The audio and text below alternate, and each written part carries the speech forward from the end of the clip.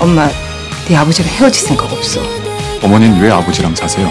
솔직히 아버지 사랑하셔서 그러는 거 아니잖아요. 그러니까 공짜 밥을 못 먹겠다 그 뜻이에요? 그럼 아르바이트 할래요? 아르바이트요?